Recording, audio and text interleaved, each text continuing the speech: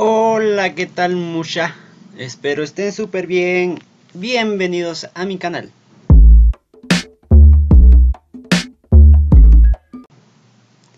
Bueno, el día de hoy les traigo un videito donde hice un fan art del hombre araña.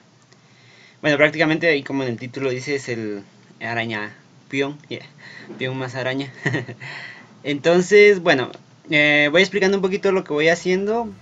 Aquí voy realizando lo que es el bosquejo. Prácticamente es solo la ubicación del elemento o del objeto, en este caso el peón. De ahí eh, ya voy al boceto, que es prácticamente ir detallando un poquito más cómo va a ir el dibujo. Aquí no importa si rayamos demasiado, pues después en una capa aparte vamos a realizar el line art.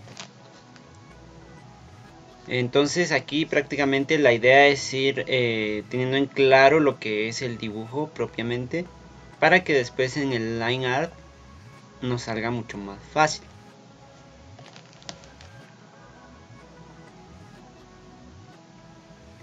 La primera etapa es el bosquejo o boceto.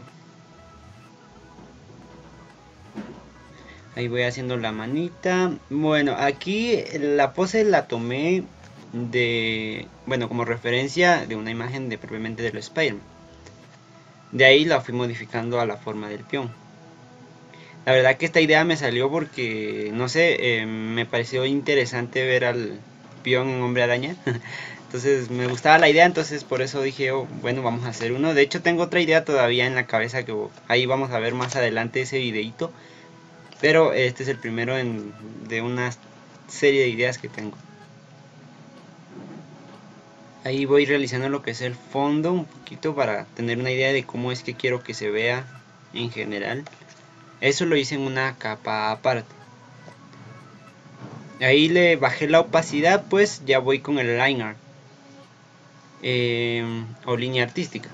Aquí hice utilicé la herramienta del círculo para poder eh, realizar un círculo perfecto. De ahí a mano alzada voy realizando lo que es eh, lo que son los ojos. Eh, bueno, ahí también es una práctica de dibujo digital, pues ya hace tiempo que no hacía uno y al menos con la tableta, porque estoy haciendo unos en el teléfono que siento que es un poquito más sencillo o tal vez ya me he acostumbrado un poquito más. Pero eh, en lo que es en la tableta con la computadora, pues ya hace tiempo que no hacía uno y ahorita fue como que bueno, vamos a hacer esto y creo que fue muy divertido y muy interesante hacer este fanart. Siempre lo que hago es voltear el lienzo, pues eh, acomoda mejor mi mano para hacer los trazos. Una de las cosas también es de que yo utilizo una capa de vectores para que si hay alguna curva que no me gusta pueda modificarla con, los vectores que tiene. Y por ejemplo tiene lo que es el borrador de vectores, entonces si me paso un poquito pues no hay problema porque el borrador de vectores me va a ayudar a borrarlo. Entonces casi todo el line art lo hice con eso. Igual ahí vamos con mano alzada, ahí si se dan cuenta hay liñitas que van saliendo de más, pero eso con el borrador de vectores lo, voy a ir borrando porque estamos en la capa de vectores, entonces eso es mucho más fácil. Otra de las cosas también es que tengo modificado eh, la herramienta del line art que se, puedan que se puedan unir las líneas conforme las voy haciendo. Entonces eso me ayudó bastante. Voy detallando de a poquito. Ahí es lo que les digo voy borrando las líneas de más líneas que no me interesan.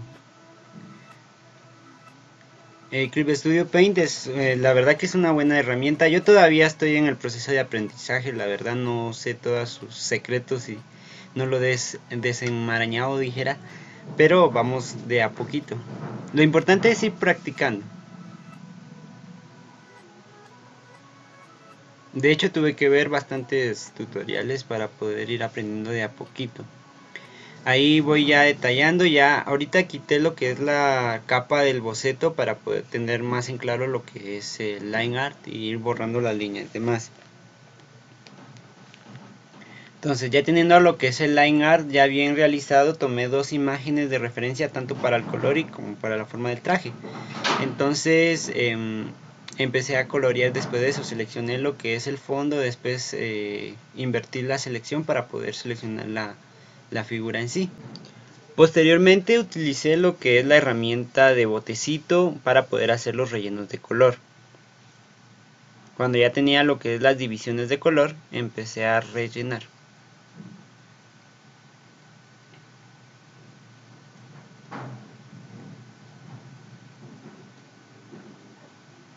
Ahí empiezo a rellenar todos los espacios de color. A tener la referencia. Entonces, en una capa aparte empecé a aplicar todos los colores planos del objeto. Entonces aquí ya tengo todos los colores planos. Posteriormente en una capa para crear lo que son las sombras utilicé una capa de multiplicación que lo vamos a ir viendo más adelante. En este caso utilicé la herramienta de curva para que se me hiciera más fácil hacer ese efecto arácnido de lo que es la tela de araña. Ahí utilicé solo herramienta de curva para poder hacerlo mucho más fácil porque también lo pude haber hecho a mano alzada pero creo que se complicaba un poquito más entonces mejor con la herramienta de curva me funcionó mucho más y fue mucho más rápido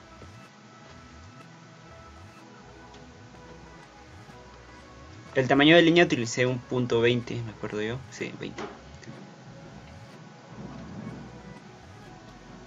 y ahí se va viendo ahí lo puse en cámara rápido para que no se alargue demasiado el video. Entonces ahí voy a ir es lo mismo digamos fui agregando con la herramienta de curva todo lo que es eh, el efecto de de araña en todo el cuerpo del peón dejando los espacios azules sin ese efecto verdad según cómo se ve en el traje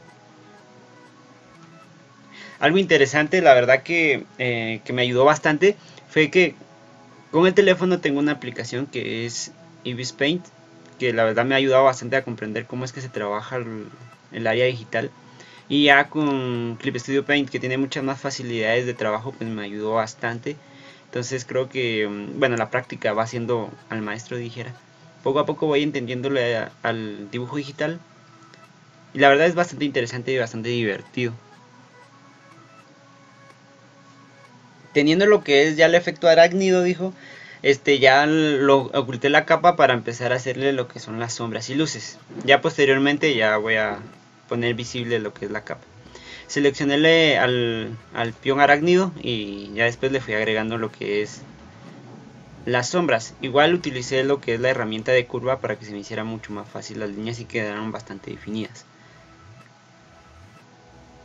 Y también hay que tomar en cuenta por decirlo así desde que para crear las sombras y que se vean como que más chileras podemos utilizar lo que es eh, la capa de multiplicar. Eso bueno yo lo seguí en algunos videotutoriales y de verdad ayuda un montón. Entonces la, la capa de multiplicación es bastante buena para crear las sombras yo generalmente utilizo como referencia el color base y ese mismo color lo aplico en las sombras entonces eso eh, la capa hace que se vea más oscuro Después, para darle un poquito más de difuminación o profundidad, agarré otra capa también en multiplicación y le apliqué lo que son otras sombras más profundas con el aerógrafo. Entonces eso le da un poquito más de profundidad y realismo. Lo voy aplicando de a poquito. También utilicé la capa como que de referencia. Utilizar capa de referencia y eso ayuda bastante para que no nos vayamos a pasar a los lados de las luces. Esa linita rosadita que ven ustedes ahí en la capa que tengo seleccionada es que tomé de referencia la capa de abajo. Después le voy agregando lo que son las eh, luces o brillos igual con el aerógrafo lo fui agregando para que no fuera muy marcado lo que son las luces de a poquito Así le va dando como que más profundidad y más volumen al objeto.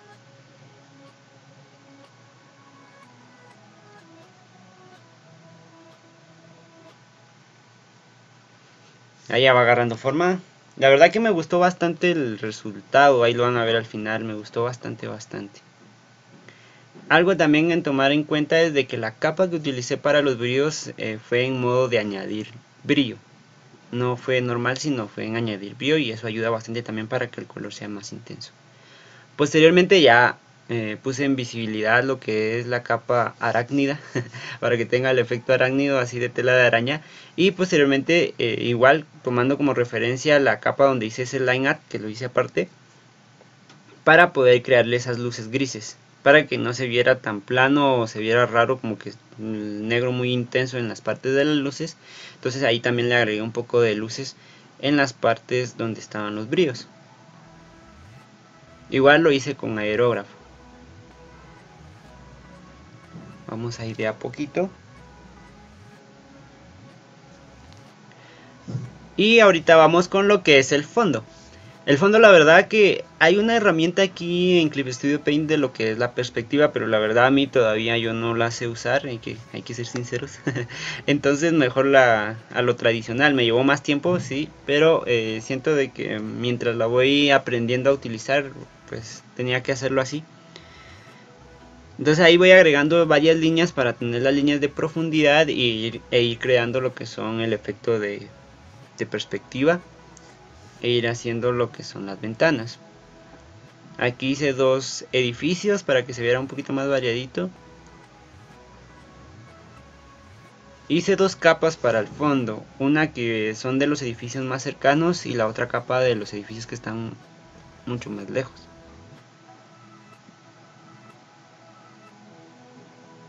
Le voy agregando más líneas de profundidad para la forma del edificio. De ahí agregué, eh, bueno, puse visible lo que es el fondo del boceto para tener la idea cómo es que lo quería. Y de ahí ya empecé a agregar ya line art propiamente. Ahí yo quise agregarle algunos eh, aspectos como de piezas, así como el, rey, la torre y el alfil, para que tuviera un poquito más la temática del ajedrez, que esa es la idea, ¿verdad? Me voy agregando como una especie de torre, una especie de cabeza de alfil. Y le voy borrando las líneas que ya no me interesan. Posteriormente le hice un fondo, como una especie de... Como difuminado. Ahí estamos, ahí difuminado.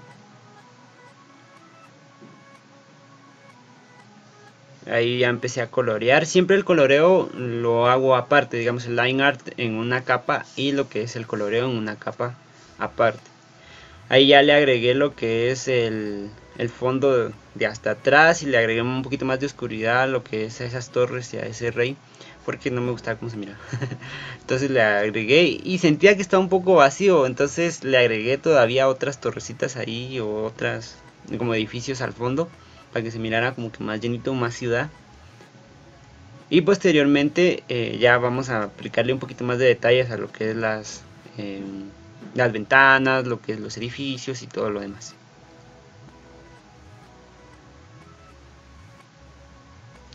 La verdad que em, dibujar en digital es bastante diferente a hacerlo en tradicional. Le cuesta un poquito acostumbrarse, la verdad. Mayormente cuando es una tableta sin pantalla, eh, que es la que yo tengo, ¿verdad? Ahora cuando es con pantalla como que facilita un poco el trabajo. Sin embargo, pues es bastante interesante y es chilero utilizarlo, la verdad.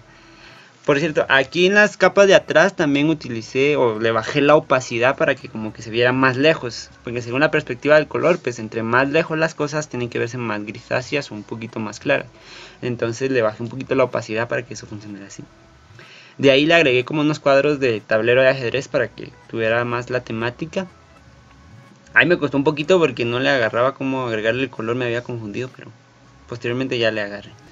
Siempre se ve un poco, sentí que se veía un poquitín extraño, pero decidí dejarlo así porque se miraba bonito.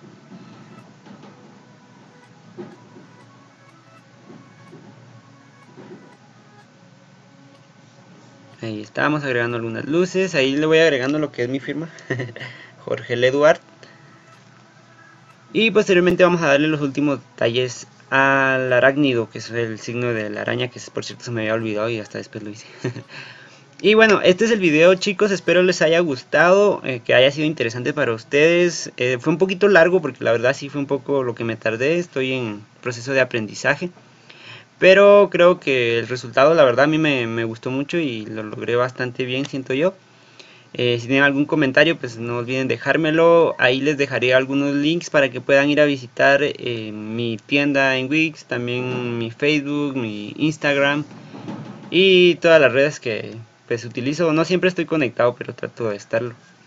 Y pues sin nada más, chicos. Em, este es el resultado final de lo que es el arácnido. Ahí miren, ahí estoy haciendo la arañita que se me había olvidado, pero que ya la hice. Entonces, ahorita em, ya viendo el resultado final, vamos a ver el esplendor de la obra.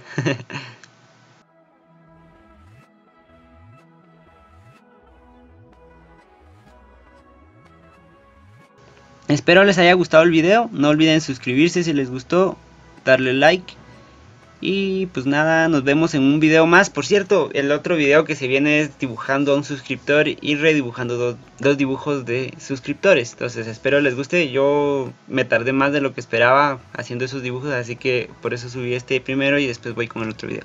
Entonces nada más, chau chau chicos.